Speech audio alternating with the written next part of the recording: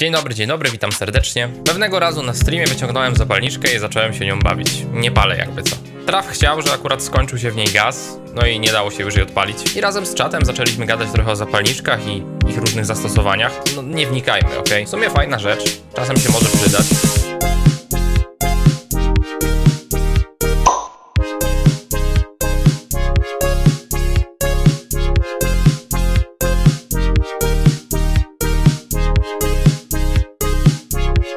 I pojawił się też pomysł, żeby ustawić cel dotacji na legendarną już zapalniczkę Zippo.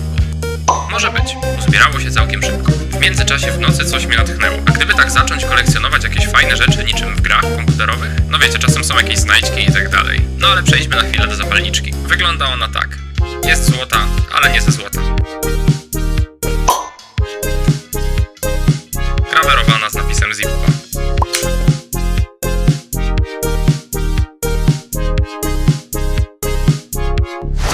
Miesiąc kupować jakąś taką jedną rzecz do wirtualnej albo prawdziwej kaplotki? I pytanie, czy te przedmioty do kolekcji musiałyby być związane z grami? Zippo możemy zobaczyć chociażby w takiej grze jak Anepic. Swoją drogą bardzo polecam, przyjemna gierka.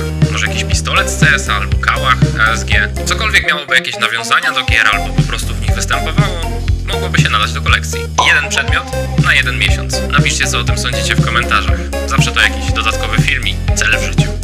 pomysł przejdzie, to naszą pierwszą zdobyczą jest właśnie Zippo i zajmuje pierwsze miejsce w naszej gablotce.